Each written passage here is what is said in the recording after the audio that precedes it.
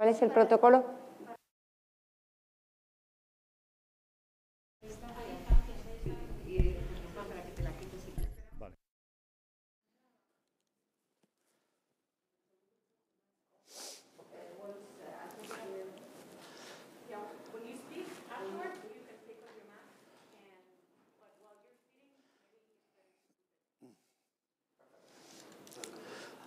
Okay, good morning. Good morning, everybody. Good morning, people who are behind the screens. It's really a pleasure for the Real Instituto Elcano to be here today, trying to moderate uh, what I, I guess is going to be a fascinating conversation about Europe and the future of Europe uh, between uh, our uh, vice presidents, uh, Nadia Calviño, and the chairman of the Eurogroup, uh, Paschal Donohoe. Uh, I think it's, uh, we have a lot of uh, topics to, to drill in, in the coming minutes. Therefore, I am going to be very brief. My function here today is just to moderate the conversation and to give the floor to our distinguished panelists. Uh, as you all, all, of you know, uh, in the past years, uh, Europe has taken a extraordinary step forward. Uh, the exceptional measures that has been adopted in the, in the European Union to face uh, the COVID epidemic has been quite successful. I can now remember Paschal addressing uh, the Greek economists last year saying we are, we are winning, we are winning, and I, I wonder if uh, you remain with the same opinion. I guess you have a lot of, a lot of uh, uh data to support your optimist view. Uh, what we are going to, to, to, to do today is I, uh, I, will give the floor to Nadia Calviño to, to talk, to, to introduce the topic uh, about the opportunities for the euro area in the context of the recovery. We are going to talk, I'm sure, about next generation funds, uh, banking, European Banking Union, capital market, fiscal rules. Therefore, we have a very, very uh, interesting agenda, and I am not going to, to take more minutes. And afterwards, uh, after the, the, the, address of uh, Nadia Calviño, I will give the floor to Paschal to, to make some comments, and afterwards we will take questions uh, either from the, from, the, from the floor or from the, the, the people who are uh, on, on the, the screens, behind the screens. Uh, and uh, I hope this is going to be a very fruitful morning. Nadia, the floor is yours.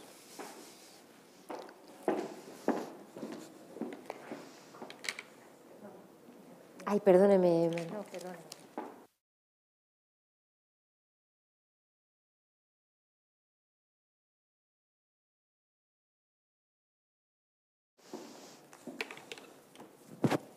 Muchas gracias, muchas gracias, José Juan.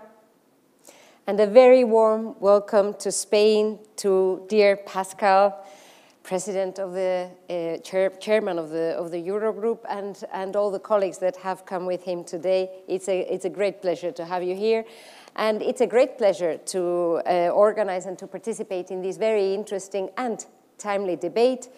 It is a pity that we cannot have a, a full uh, house, but it is also excellent that we can have so many persons connected and, and therefore that we can conduct the debate, which I'm sure is going to be extremely uh, lively. As, as Jose Juan, uh, the, the uh, president of the Real Instituto Elcano, one of the most important, if not the most important think tank in our country, as he was saying, we're leaving behind two extremely intense years. Uh, and I think it's great that as a think tank, uh, El Real Instituto Elcano has continued to be extremely engaged, active, and kept uh, the uh, role of thinking and discussing and providing for good ideas and, and, different points of view on the issues at stake. And I think this is going to uh, certainly accelerate as we leave these uh, difficult two years behind and go back to having this kind of, of live events. I was just saying that your visit, uh, Paschal, comes at a very timely moment. Uh, it's, a, it's really the right moment to take stock and also to reflect together uh, on the different discussions and debates which are ongoing, because this is going to shape the future of the EU. It's going to shape the future of, of the Eurozone. And your visit comes at a time when we're marking some very important anniversaries. The first one, of course, is the 20th anniversary of the birth of the euro, which we celebrated in January, and the second is the uh, second year after the start of the pandemic, which has changed our lives in so many ways, including from the economic and social point of view. It is also the 100th anniversary of the publication of Ulysses in, in France. We were just talking about it, but it's probably uh, not the most relevant reference when talking about economic matters or maybe I, we will find a, also an angle to this in, in our debate.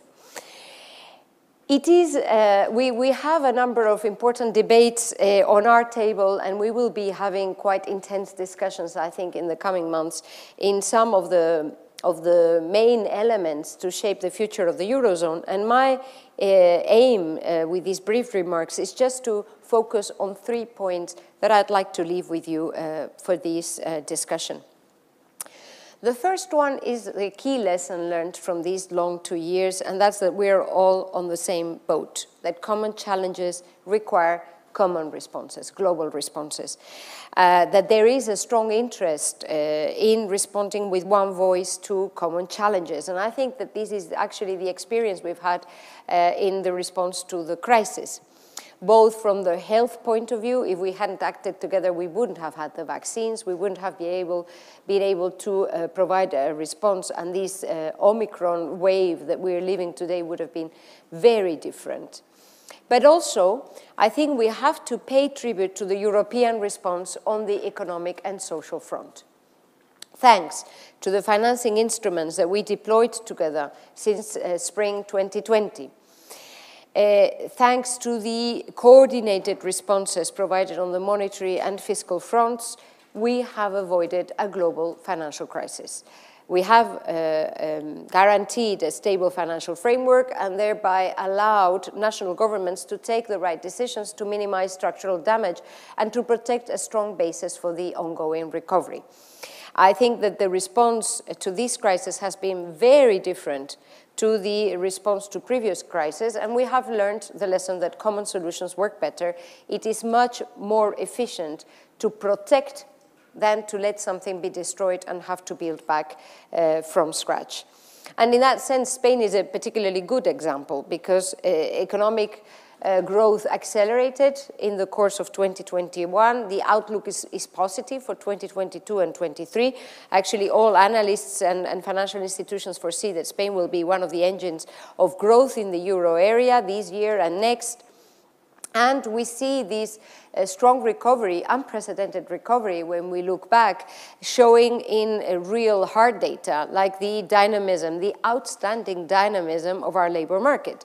All employment indicators have recovered their levels not before the pandemic, but even before the great financial crisis that started in 2008, uh, when we're talking about 20 million persons, more than 20 million persons employed, uh, unemployment rate of 13.3%, uh, and also from the qualitative perspective, when we look at female jobs, female crea job creation, full-time and permanent employment, and uh, actually, last week, we, uh, the Congress validated the labor market reform, which is one of the most important structural reforms in our recovery plan, which will support this positive trend, uh, addressing some of the shortcomings that have been dragging growth and prosperity in Spain for decades.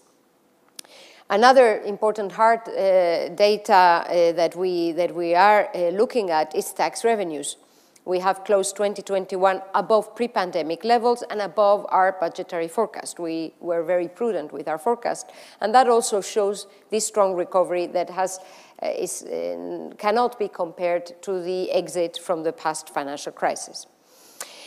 Uh, so to sum up, my first point would be that probably we have gone through a real-life stress test that goes way beyond the wildest dream uh, of the meanest uh, macroeconomic forecaster. I look, you know, some of the colleagues are, are nodding. And so uh, this experience has uh, put us to the test, has shown our weaknesses, but I think also our strengths that have been confirmed. Uh, and uh, and this, this should be a strong basis also when we are facing the upcoming debates. This is precisely my second point we need to shape our tools with a future-proof approach. both at the euro area and at the national level. Um, now, the challenge we have is that this is not just a short-lived bouncing back. We need this to be a strong, uh, sustained recovery, a transformative process that puts us on the path of uh, also sustainable and inclusive growth in the mid-run. There was, I think, a, a, building consensus on the need to look at um, sustainability from the economic and social point, uh, economic and financial point of view, but also from the environmental and social point of view. And the pandemic has undoubtedly accelerated the awareness that we need to act now and we need to go in this uh, direction. And this will require unprecedented levels of private and public investment at European and at national level. And this is uh, first and foremost a matter of intergenerational fairness. All countries have had to issue unprecedented levels of public debt so as to uh, respond to the pandemic. So we need to absorb this additional debt and we need to take now the right decisions so that this process is not hindering the ability of future generations to make their own decisions, to make their own choices. Uh, so we need to leave them a healthier, cleaner, more sustainable and fairer model that provides them with better opportunities from the personal and the pro professional point of view. This is something we discuss very often no, during our meetings. And I think it is also not just a matter of, of looking at our societies and, and our short-term perspective, but also ensuring that Europe has a stronger uh, strategic autonomy in the um, wake of these geopolitical challenges and tensions. I don't need to clarify any more about these, I think, in this forum. So in order to succeed uh, in facing these challenges, we need future-proof tools.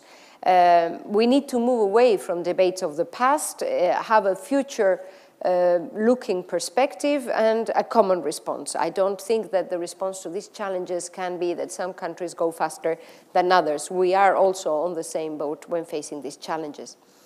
And my third and final point is about our shared priorities at the euro level, which we should address on the basis of these two principles I mentioned, acting uh, together and with a future forward-looking uh, approach. Because we have a window of opportunity now to tackle the challenges, to implement measures that will definitely shape the euro for the coming uh, 20 years. Um, and a first element, uh, a first focus uh, for our work should be the swift deployment of recovery plans. Uh, during 2021, we have made enormous uh, progress. In the case of Spain, we have uh, devoted uh, all our energy to ensuring that we got our plan presented, uh, approved, the first pre-financing payment and the first payment linked to the fulfillment of uh, targets and, and, milestones. And this uh, year we, uh, we will achieve the, uh, we will reach cruise speed in the deployment of the reforms and the investments. And this is obviously priority number one for us, to make the most of this unique opportunity, the European response, this unprecedented European response, and succeeding in having a strong recovery, which is also modernizing the country. A second focus, obviously, at the Eurogroup and, and ECOFIN uh, will be to discuss on the reform of fiscal rules. Uh, this is a key issue because we need to ensure that countries can define consolidation paths that are credible and compatible with sustained growth and job creation. And now that the economic situation is normalizing, it is time to resume this important debate. We have no time to lose. We need uh, a renewed uh, fiscal framework which is fit for the future and, uh, and um, I'm sure Paschal is going to brief us about his plans in this regard. I am, uh, I am very positive about the calendar that you're shaping up so that we can have a constructive discussion in the coming weeks and months. And I think that when we have this discussion, uh, we need to uh, act with pragmatism and without going back to the old trenches, to the debates of the past I was referring to a moment ago. Because let's be clear, you know, the uh, current ratios of public debt to GDP are much higher than uh, before the pandemic in all countries of the EU, and therefore the path for the public debt reduction must be adapted to this new reality and take into account the specific circumstances of each country, avoiding the mistakes of the last uh, financial crisis. It is also essential to support public investment and be able to mobilize the necessary amounts of private investments if we want to transform, to modernize our European economies in the wake of the green and digital uh, transitions, also in the wake of these geopolitical uh, tensions. Actually, in previous crises, public investment was the main, the first victim of public consolidation strategies. And Spain is probably the country that suffered the most from underinvestment, which was a huge drag for growth, for future growth, and I think a mistake that we cannot make again. The recovery plan and the uh, um, investment effort that we will do all together, I think is a, is a good sign that we are not making these mistakes again. And I also think that the institutional architecture of the recovery plan is a good model that could inspire us for the future. Member states must play a leading role in setting their own fiscal targets. We need ownership and rules that can be understood and explained to citizens. Besides fiscal rules, we have other important discussions ahead on strengthening the economic and monetary union. Jose Juan mentioned them. Uh, I am uh, quite sure this will not be the last crisis that the euro has to live through. Uh, as I always say in all the meetings, having lived through the, the last financial crisis as you did, uh, we need to fix uh, the roof when the, while the sun is shining. Uh, we shouldn't wait for the next crisis to break to then have to establish the right governance. And that's why uh, completing the banking union together with the capital markets union is, is another top priority in our agenda uh, to ensure that financial markets in Europe are actually contributing to their role in channeling savings towards productive investment. Uh, so all in all, when we look at the uh, existential debates that we have on our table to a certain extent, I'd say 2022 will be a key year for the euro area we have a unique window of opportunity we cannot miss. We have to get it right with phase two, the recovery, like we did in the phase one, uh, responding to the pandemic. And you can count on Spain, uh, dear Paschal, uh, to play a constructive role and to drive this uh, Eurogroup uh, inspiring agenda forward because I think we know the way. So it's just a matter of doing it, doing it together let me leave you with this positive, uh, encouraging message and looking forward to listening to your remarks.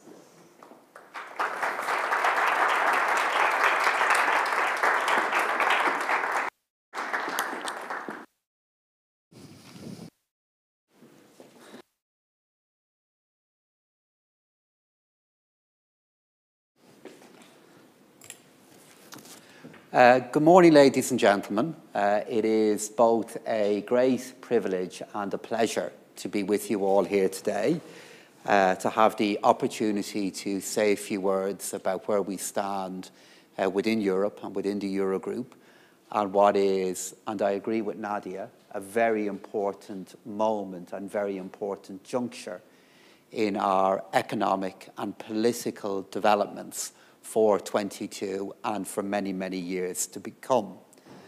And I was really taken with the introduction uh, that uh, Vice Prime Minister Calviño gave because she made reference to the number of anniversaries that we have.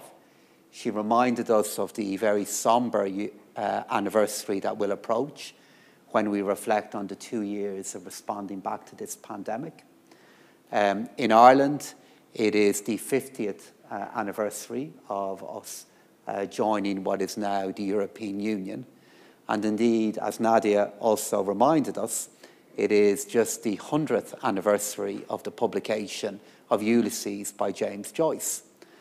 And Nadia um, uh, asked, was there any analogy or relevance that I could draw between the publication of Ulysses and the work of the Eurogroup? Well, I think I would struggle with that, to tell the truth. Uh, while it is difficult to know the views of James Joyce in relation to fiscal rules, banking union, and capital markets union, as much meaning as there is in Ulysses, I'd be hard pressed to distill his views on those topics. But nonetheless, at the very, very heart of Ulysses is that it is a masterpiece of European literature. It tells the story of three characters Molly Bloom, Leopold Bloom, and Stephen Dedalus. And while it is a novel set in Dublin, these are three characters and three figures that have a distinctly European identity. And at the very heart of Ulysses is Joyce seeing the development of Irish identity and the development of Irish culture in a European framework. And it is uh, no accident at all that Joyce spent all of his greatest and most creative years actually living outside Ireland, where indeed he wrote both Ulysses and many other of his masterpieces. Uh, but if I look at the relevance of the publication of Ulysses, it is really symbolic that back home in Ireland, we are celebrating its 100th anniversary while we are celebrating the 100th anniversary of key moments in our independence, and as I said, our 50th anniversary of becoming members of now the European Union. There's a deep symmetry in all of those moments. Which leads me back to what we are discussing here today the future of Europe, the future of the euro area, the futures of the people of Spain and the people of Ireland. And when I was uh, coming over uh, Madrid very early this morning, getting ready to land, I was looking out the window of the aeroplane and looking down at your landscape and reflecting on how different your landscape would be to the landscape that I would see if I was coming into Dublin Airport. How different your land looks from a great distance. But of course, reflecting on the European Union and that as a project. That is why, as a political project, it is so fundamentally important to us all because it reminds us that while we may have differences in geography, we may have differences in climate, we may indeed have differences of language, at the heart of the European Union is an affirmation that we have so much more in common than we have in difference. And it reminds us that by making a political commitment to all that we have in common, it creates a foundation for a structure that helps us to achieve more collectively than we ever could individually. That's at the heart of this project. That while we may differ for reasons of geography, for reasons even at times of language and culture, at the heart of it all, we have so much more in common than we ever have in difference and that is a source of great strength. And indeed, that strength, that foundation, is something that was tested so much over the last two years. But as your chair said earlier on, and I agree so much with what Nadia has said, we used that foundation of a common outlook on COVID and a common determination to protect each other to achieve so much at the most difficult of times. If you look at where we stand now versus where we stood a year ago versus where we stood two years ago, we can make the case to our people that our European response achieved more than an Irish response or a Spanish response could have achieved independently of each other. We came together at a moment of a great test, of an existential challenge. And by coming together, and of course there were challenges, of course there were moments where our response would not have been what it should have been, but nonetheless, by coming together, we have overcome so much. Look at what we achieved collectively with our vaccination efforts. Look at what we have achieved economically through measures such as the SURE programme, such as Next Generation EU, and look critically at the results of our shared commitment and our shared actions. Our policies worked and they are working. if you look at where we are within the euro area, we now have output that is already back to where we were before the pandemic. Euro area unemployment has now reached a record low of 7%.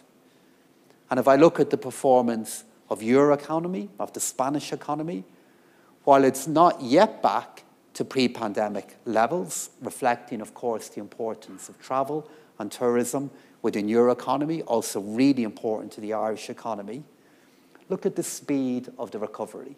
Look at what you have achieved in protecting income, protecting employment, helping businesses and employers here in Spain to recover.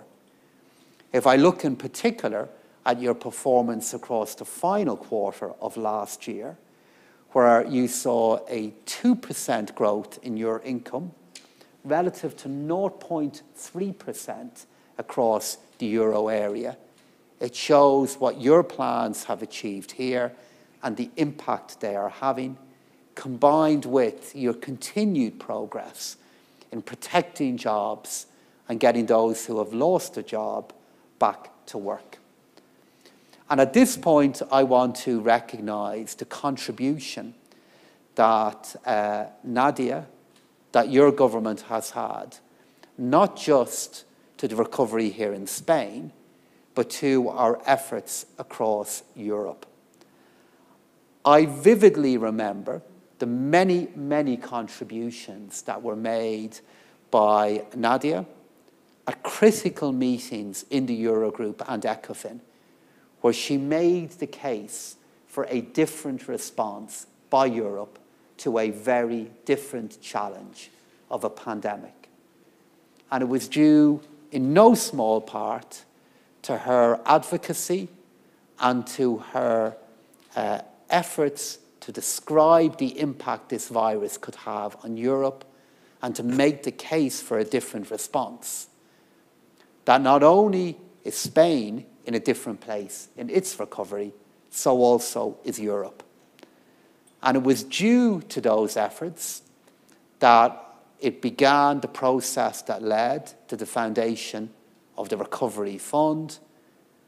And Nadia's prominence and her input in this debate was, of course, recognised by all finance ministers across Europe when we saw her recent and very speedy election to now chairperson of the International Monetary and Financial Committee within the IMF.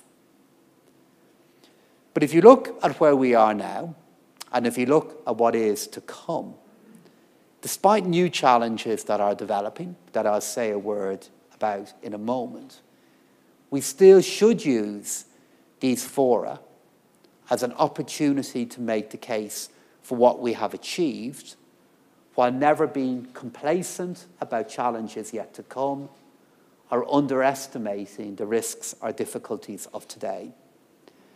Because if COVID 19 has taught us anything, and has taught us so much, it is that we need to continue to acknowledge the uncertainty created by this disease.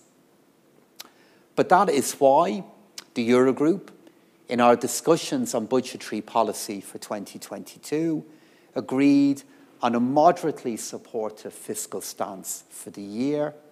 And it's also why Nadia and all her colleagues within the Eurogroup agreed on the need for flexibility and agility in how we respond to an economic situation that changes so quickly.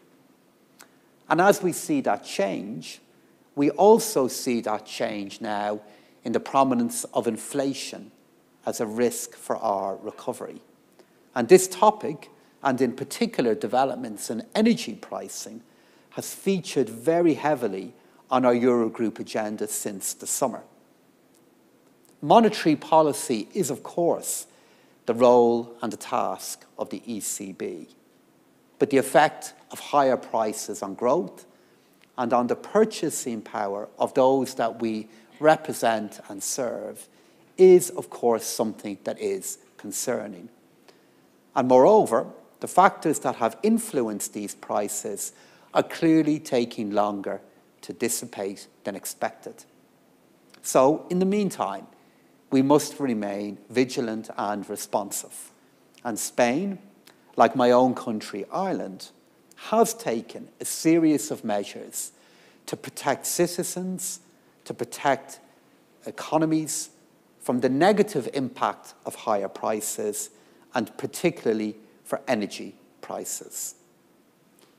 So, as we look then to the future, within Eurogroup, we'll continue to work tirelessly to reach agreement, to look at how we can put in place the policies and the interventions to help our countries to continue to emerge from the dark difficulties and crisis over the last two years. But, as I said a moment ago, our policies are working. Millions of lives, millions of livelihoods have been protected. The euro area policy response has been swift, it's been coordinated, it has been powerful, and it has been well balanced. So, this in turn brings me to Next Generation EU and the Recovery and the Resilience Facility, which again, Nadia has been a key supporter of throughout all stages of the political discussion. An example of that was the discussion at a very early phase in this debate on the concept of Eurobonds, supported by Spain, but also supported by Ireland because of our recognition of the profoundly different nature of this crisis. And those debates all led to the centrepiece of the EU response to the crisis, the Recovery Fund. And indeed, as just acknowledged, Spain was the first country to receive a successful payment, uh, excuse me, the first country to receive a successful payment request assessment under the facility last December with a disbursement of 10 billion euro. This highlights the very effective implementation of reforms here in Spain, and I'm confident that this level of support will in turn allow you to build on the recovery that is clearly underway here. Within Eurogroup, we're conscious of the need to promote investment, as this is indeed a key driver for the success of our two transitions to a more green, to a more digital future. And indeed, investment has been too low for too long in Europe, a legacy from our past crisis. And this fund, a Next Generation EU, offers an opportunity to coordinate, to prioritise investment. And from this, we should be able to embrace these transitions to a very different and better future. So, as part of this discussion on our future, as you will be aware, last October, the European Commission relaunched the Economic Governance Review. And the Eurogroup is discussing key aspects of this process, specifically the euro area dimensions, so as to contribute actively and positively to the debate. Our first substantive discussion took place in November, when we considered the processes around the draft budgetary plans and the macroeconomic surveillance procedures, including, for example, the two pack legislation and the different mechanisms embedded in the so called six pack. And these discussions continued into our first meeting of the new year. There has been an exceptionally high level of engagement by ministers in this process and this will feed into the Commission's deliberations. Over the next number of months, we'll continue to debate aspects of the framework. I'm very much aware of the Elcano's Institute's own work in this area and your own paper in December on this topic. There was indeed a lot in the paper, and I'm sure I'll hear more on this during our questions and answers. But this whole process and in particular the work that will lead into our March Eurogroup meeting, where we will debate and I believe reach agreement on the right budgetary policy for the euro area for 2023 all gives us the opportunity to guide this process forward in a sensible and pragmatic way. We're all aware of the lessons from the past crisis, and we are aware of the very different challenge that we face today. But it will be critical to get this balance right. And in particular, the balance between balancing debt sustainability and how we fund growth and how we fund investment. And uh, while it is too early to draw any conclusions from our discussions to date, I am confident that the Eurogroup will be a key and active participant in the economic governance debate as the Commission develops their proposals. Another key issue that we will be discussing at the Eurogroup is the future of our banking union, a critical part of our economic and monetary union. We know that in looking to a greener and more digital future, we need to find new sources of funding.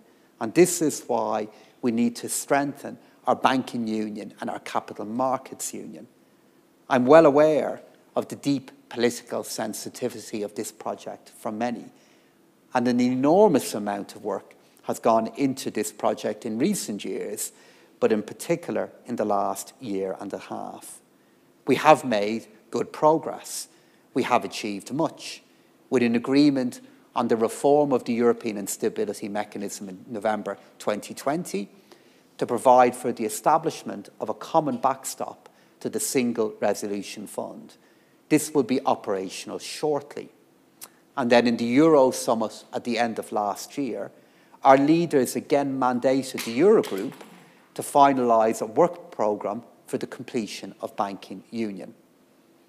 I am committed to fulfilling this mandate, and I intend to present a balanced proposal to colleagues in the coming weeks, taking into consideration existing issues from member states, as well as asking governments and ministers to approach this work with fresh eyes we have a window of opportunity. And due to the shared commitment amongst member states to this project, we have to, in this time ahead, take advantage of what we have achieved in order to make more progress on this part of our union. We must also consider the sizable cost of inaction at this point in terms of signalling or even postponing progress to the next crisis. There is a better way, and that involves how we engage in this topic in the coming weeks and months, and then reaching agreement on a new agenda, on a new work programme for how we complete banking union. And while I'm well aware of the difficulty of this work, I'm also optimistic that agreement is within reach, and this will be a critical priority of mine in the coming months. So, just to conclude on that point of the possibilities of progress and its value, I opened up my contribution here this morning by acknowledging the anniversaries, acknowledging the value of what we have in common and how this is harnessed within the European Union. And as I look at the challenges that lie ahead, but also look at the opportunities that lie ahead, 2022 promises to be a significant year for overcoming those challenges and grasping those opportunities. And at the heart of that will be a euro area that's determined to look at how we can have a strong and sustained recovery, and the Eurogroup of finance ministers within the euro area that come together to share our views, to share our experiences, but critically then, to use those sharing of insights to coordinate our efforts and to achieve more collectively than we ever can individually. That's at the heart of that project. And in that project, we rely so much on the ongoing positive contribution that Spain has made to this project, that Nadia has made to our recovery, and I look forward to working with her in the year ahead as we aim to complete these challenging but deeply important projects. Thank you.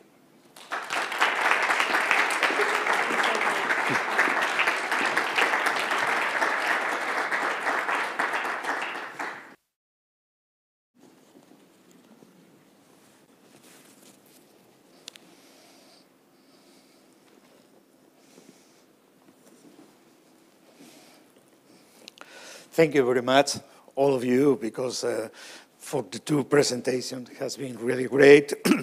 a lot of uh, uh, content, rich ideas there. Uh, I take my takeaway are mainly two. On the first one, that since maybe 10 years, the European Union has been able to provide solutions and solidarity uh, to solving the, the, economic problems of uh, the, the European Union. And this idea, very important idea that you have raised, that all, despite the difference, we have a common ground to work together, and if we work together, this is going to, to, to be much better, has been much, much efficient, that we, we try to create, isolate uh, solutions. Let me, let me uh, try to introduce two main questions. The first one, how we can face the uncertainties that we have, and you have, both of you have, have raised the two main uncertainties that I think uh, worries the European society. On the first one, inflation, and the second one, uh, the high levels of debt. Uh, I, I think these, uh, these needs or requires from you, policymakers, uh, two things. On the one hand, as you have, both of you have done, to recognize that the policy mix has to be rebalanced, and this is an important issue, and how we rebalance the policy mix, and the, your, your, your, your, your, your, uh, your uh, focus on how to, uh, to, to remake the fiscal rules are a key ingredient of that. The second one is how we can protect the more vulnerable people of the consequence of this, uh, this uh, rising uh, uh, inflation in the, in the European Union.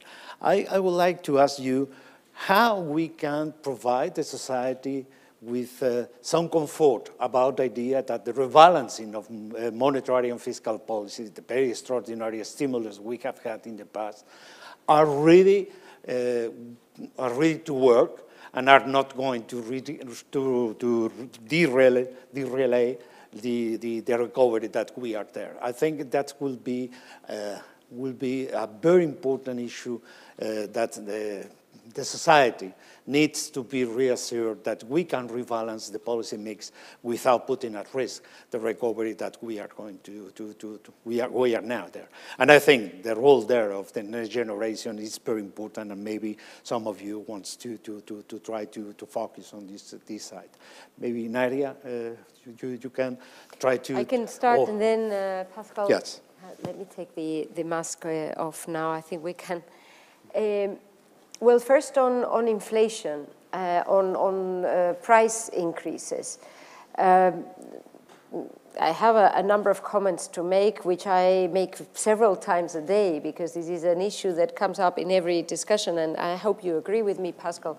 First, is that we need to take a bit of perspective, because we started 2021 with zero inflation, it, uh, it is normal that there's a price uh, rebound when we have such a strong and fast recovery. It has always happened when we exit comparable crises, and therefore it shouldn't come as a surprise.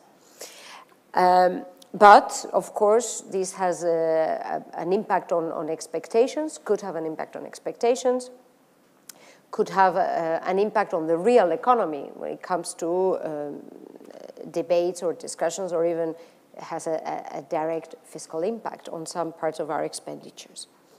But The most concerning element, I think, is energy prices, which is what, what uh, we have put on the table since uh, last summer, and which I think is something we should be addressing also together at European level, because the source of this problem comes from geopolitical and other uh, challenges. Uh, and these uh, gas markets and other uh, energy markets are markets with very large global players, and it would be good if we could speak with a stronger voice to try to ensure that prices go back to a more um, you know, the, the path that would that we would have anticipated in our in our plans. So uh, on that, uh, Spain is very vocal on the need to provide a European response to ensure that we uh, update, review our regulatory frameworks, that we uh, speak with a stronger voice so that we can uh, try to avoid that the price of, uh, of gas continues to to go up. Let's see, you know, what happens in the, in the course of this year. And then a final word on, on monetary and fiscal policies. My take from the ECB is that they are very well aware of the risk of um, acting too fast or too strongly and therefore uh, having a negative impact on growth and, and, job creation. This is my reading of their actions until now and also their public statements. And I think that this is indeed the right monetary policy to ensure that the recovery uh, strengthens in view of the fact that the uh, economic fundamentals in Europe are very different to those on the other side of the Atlantic. And right now our top priority should be growth and job uh, creation. This is my reading, and I, I, I, think they are very well aware of the need to strike the right balance when, when uh, implementing monetary policy. So I, I want to uh, very much agree with what Nadia has said there, her, her uh, analysis of where we stand at the moment. And uh, Nadia began by saying we should put these current issues into a broader perspective. And uh, I uh, think that is essential looking at the issues of both inflation and where we are with our levels of public debt. But that very broad perspective for me is a protection of employment and protection of income in the face of a deadly threat that our peoples have had to confront over the last two years. And if you looked at where we have stood at different points in the last two years, we as uh, policymakers uh, looked at the possibility of the very economic fabric of the European Union um, coming under the most intense pressure with the gravest of consequences for our future. And we responded to that challenge. And while we do have new issues and new uh, challenges that we have to overcome, I think as we debate those, we should do it in the context of also acknowledging what we've achieved over the last two years. Uh, I've been a member of the Eurogroup now with Nadia for many years. Uh, the Recovery Fund, sure, concepts like that would have nearly been impossible a few years ago. Now they're happening.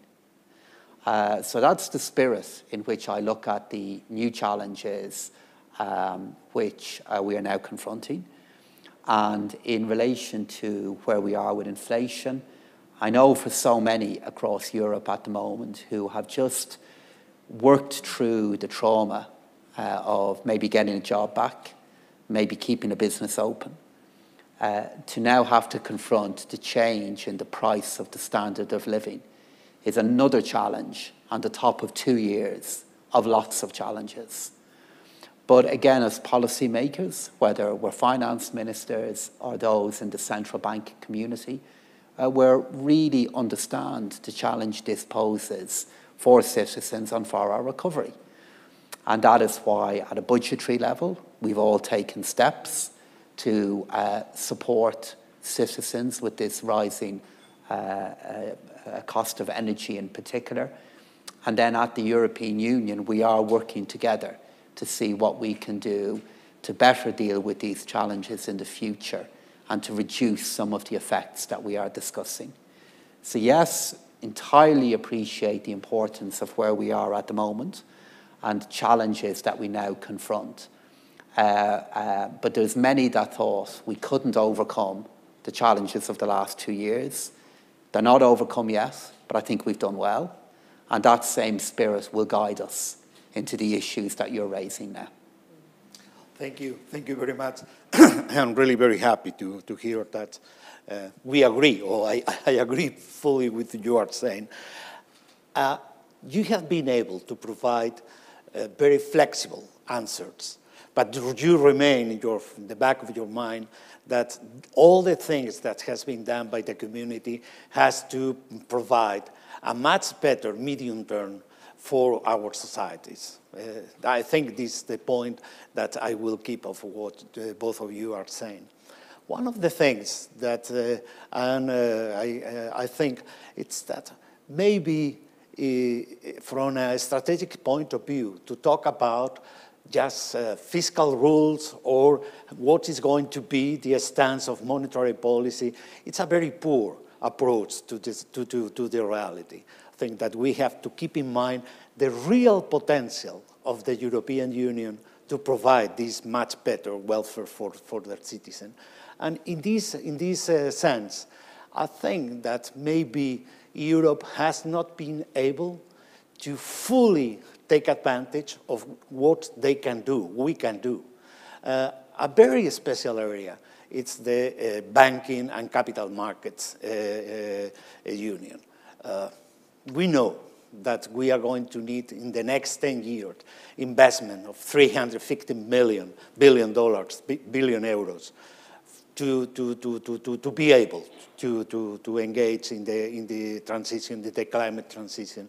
But we, capital markets are very thin, and our banking, uh, banking uh, system is quite fragmented. How we can move, how, how we can move forward, how we can make a much complete uh, European uh, banking union and capital markets. Because I don't, I don't, I can't see how we are going to, to, to, to, to integrate reforms in the fiscal front, uh, more active monetary policy without being able to call and mobilize the incredible amount of world savings to provide solution for our more, more uh, pressing problems.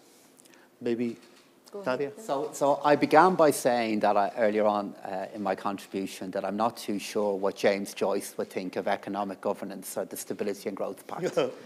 and likewise, um, I think if I was to uh, uh, leave your building here today and go and meet a, uh, um, uh, a resident here in this wonderful city of Madrid, uh, going to university, going into their workplace, I think if I was to approach that person and say, what do you think of capital markets union or banking union? Um, I'm not sure they'd have too high a level of enthusiasm or even interest in my question. But at the heart of why I think this is important is that if you were to walk down a street in Dublin today, and if you were to talk about people in Dublin, to people in Dublin about what they think of climate change, or what do they think of new forms of technology that can change our lives? I believe that the kind of answers you would hear in Dublin would be pretty similar to the kind of answers you would hear here in Madrid.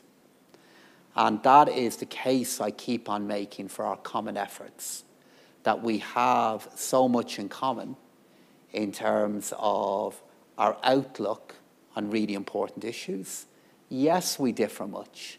Yes, the difficult, the negotiations are never easy, but there is that common outlook is so important. Which then does lead back to capital markets union and banking union. You know, why do I think it's so important?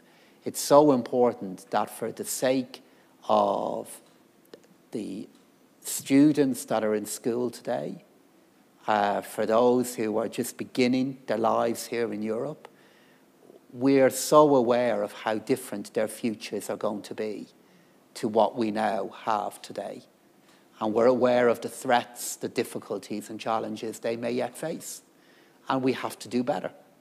In order to do better, we need more money. In order to find that money, we have to better organize our banking markets and our capital markets here in Europe. So, how are we going to do it? Uh, so uh, I'm here actually to consult um, with Nadia on this topic here today. Um, uh, the key principles of doing that will be to recognize that different countries have both different views on how it could be developed and different concerns. So, in order to recognize that, we need to move forward on all the different elements of banking union together.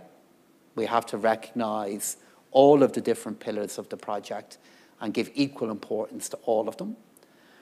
Uh, secondly, I think we need to find ways in which we can build confidence in the project um, and uh, encourage each other that as we move forward uh, on different elements of banking union, we're doing it in an atmosphere of trust, of having developed and delivered different commitments in that project.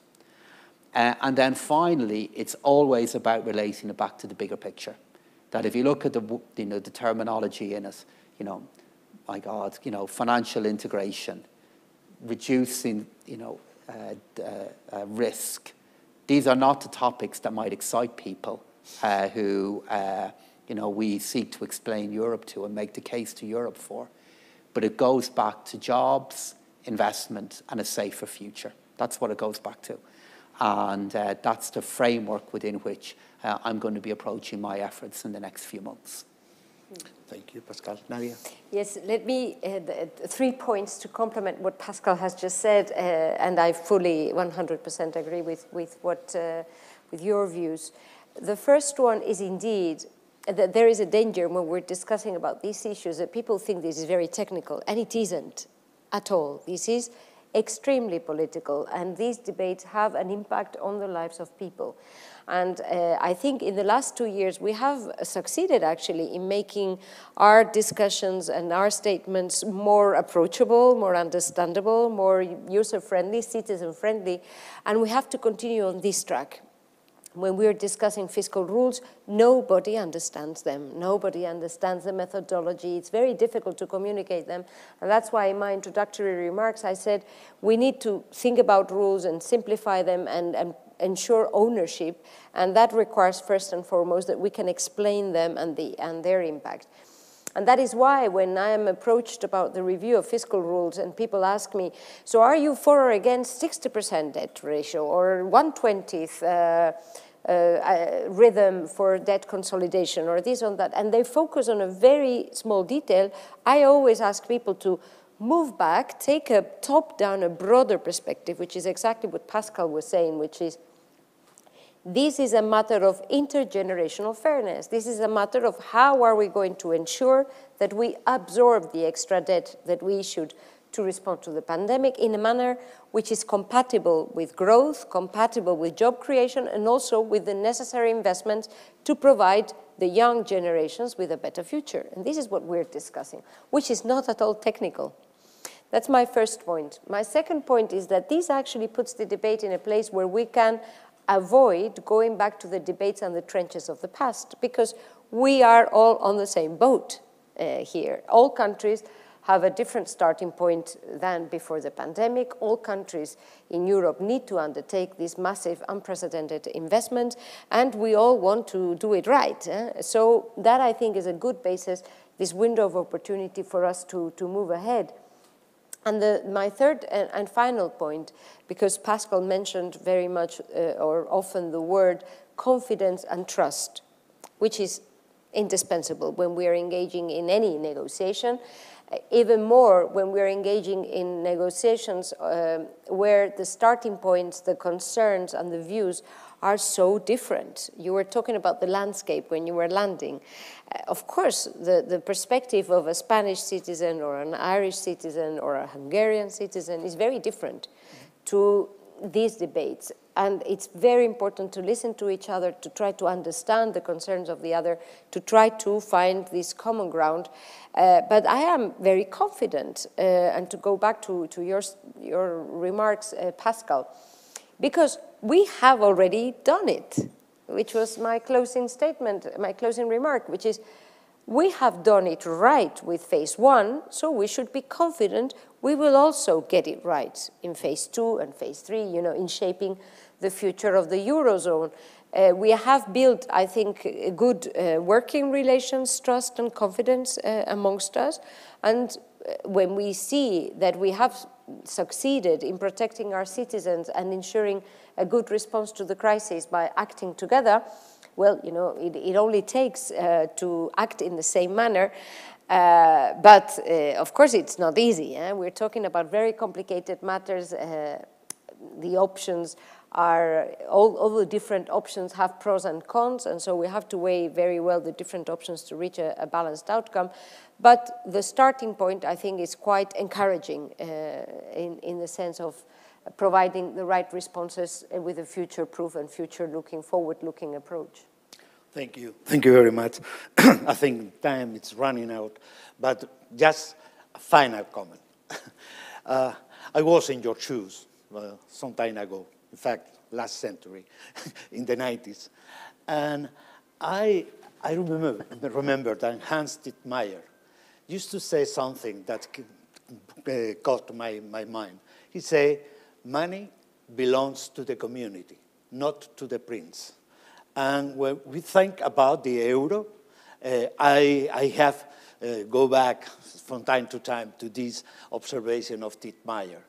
What do you think has been the uh, evolution of euro, not just as an international currency that I see is in your, your program, but in the society. Has uh, this bet for the euro been a big success? How, how we have moved forward and how we can secure that uh, this international role for the euro, it's also complemented by a role, a, a, a, a currency that is felt as their own currency and creates community. Mm. Maybe I'll go first so that you close. Uh, uh, so uh, yes, when I look back and uh, and when we look back 20 years ago, yeah. Getting the euro uh, on the ground uh, and making it real was not an easy challenge. Actually, it required a lot of. It was a massive logistics exercise it was also an exercise that required trust. I think we wouldn't have succeeded if people wouldn't have trusted their merchant, their supplier, you know, citizens trusting each other, countries trusting each other. It was, and, and I think the euro is undoubtedly one of the biggest uh, success stories of the uh, building of Europe and also one of the biggest uh, and the most important symbols of our unity and our strength when we act together.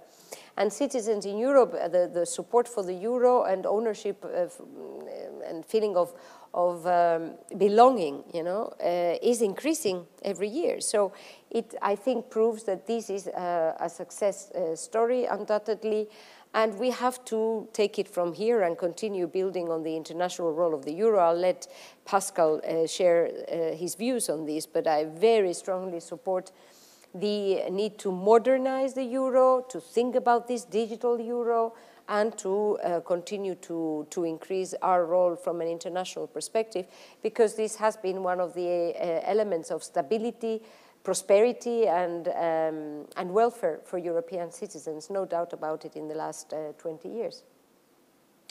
So I, I go back to the case I make for Europe, which is how we harness what we have in common to achieve more collectively.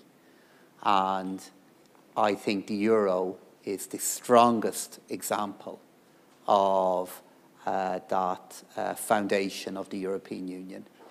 Uh, the euro, for me, is more than a currency.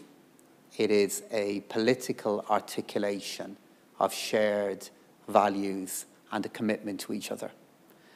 And if I look at what it has achieved, uh, for me, the most important thing that it has achieved is the ease with which we can now travel to each other, study with each other, work with each other, uh, experience each other's cultures, and holiday with each other.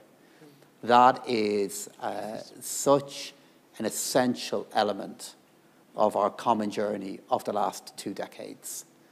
And when I look to the future, uh, I think there are three pillars to the future that we will build.